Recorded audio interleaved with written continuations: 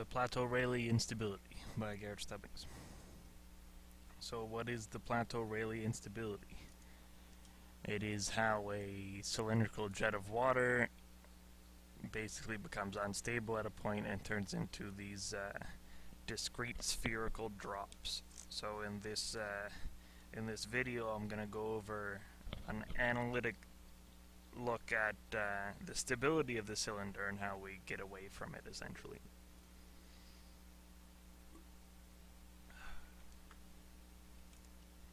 So how do we get to this analytic solution?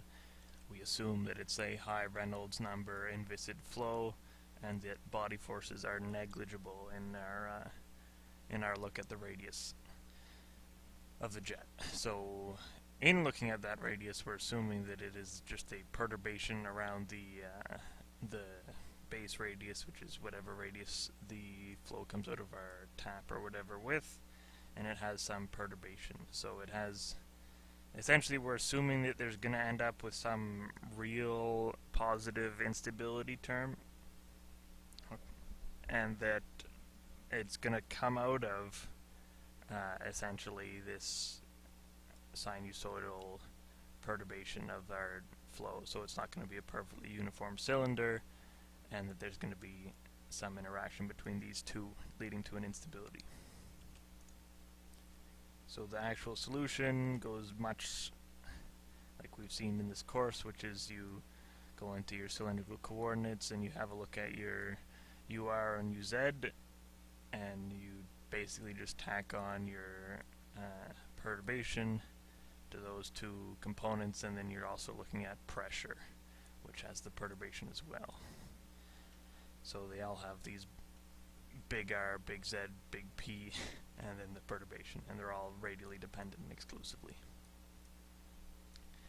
So then you can go into your Navier-Stokes equations down here and solve for our the R and Z components, and essentially you only have the acceleration of those components equal to the uh, negative pressure gradient over the density.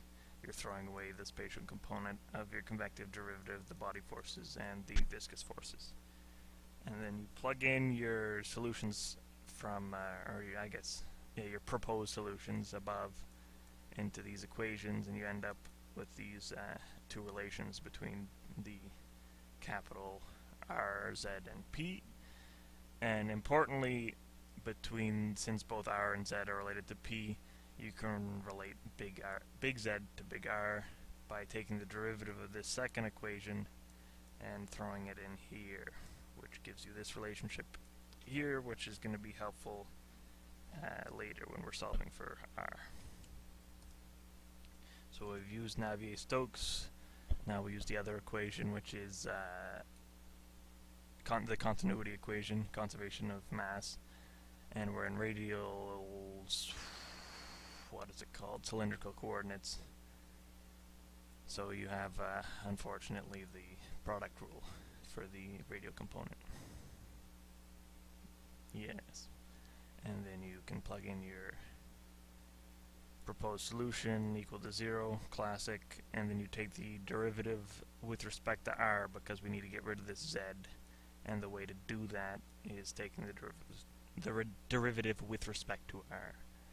So, yeah, you end up with this di z di r term in the back, another ugly product rule, and then you eliminate the di z di with this relationship and you multiply by r squared and you end up with this here ODE which should look familiar. It's the Bessel ODE with solutions which are modified functions of the first and second kind. So it's c times i1 of kr this small r plus d. I think it's big K one, but this one diverges at zero. Yeah, so it's only the only the modified Bessel function of the first kind that's going to be applicable because yeah, the second kind diverges at zero. So, anyways, you continue with your solution where big R is this this Bessel function. So what you do then is you look at your boundary conditions which is just the balance between, uh, well, first of all, you have the velocity of this boundary, which is just given by your perturbed velocity in the radial direction. And importantly, you're balancing the forces between your uh, your surface tension and your total pressure. So your total pressure, you have like P naught plus your perturbed pressure, and then this uh, this surface tension term, which uh, you just use the uh, the curvature to relate those two. Oops, equals one over one. Over r1 plus one over r2, which are the uh, the radii of curvature in the z direction, which is uh, this curvature. And then in this, uh, if you wanted to find the azimuthal direction, also has a radius of curvature. So this z direction, you end up with this uh, this k dependence, which is your wave number of your perturbation, which is determining how curvy this bit is. And then the other part is just um, the radius of your cylinder, essentially.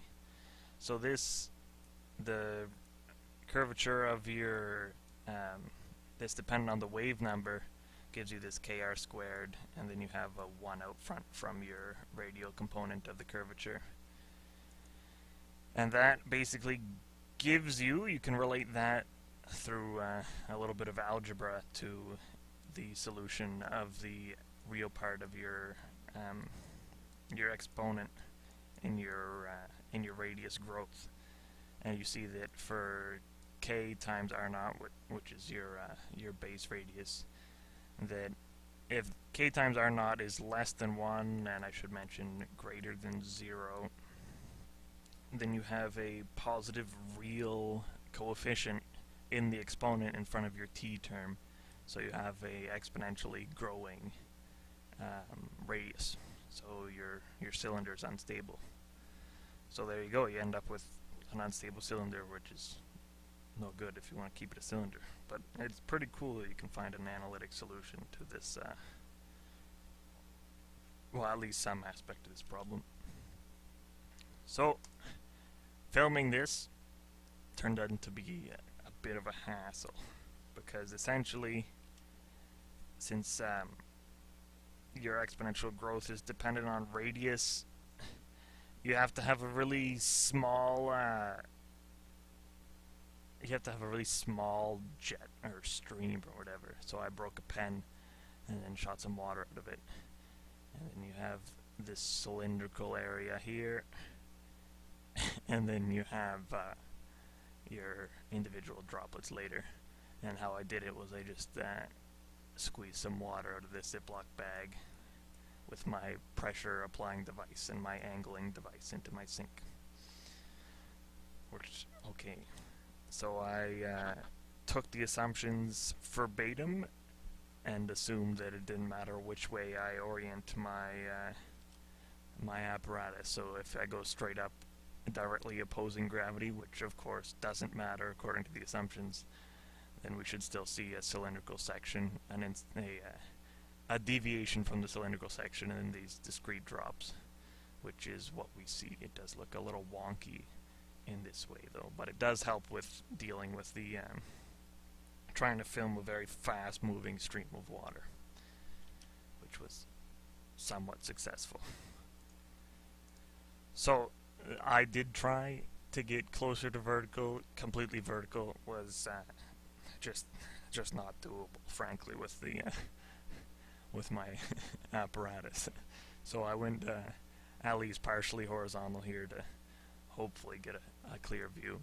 And with this one, I tried to try to identify the individual droplets instead of just seeing some uh, some noisy things like you saw at the start of the video which means trying to move my camera at the same speed as the droplets of water, which is partially successful sometimes.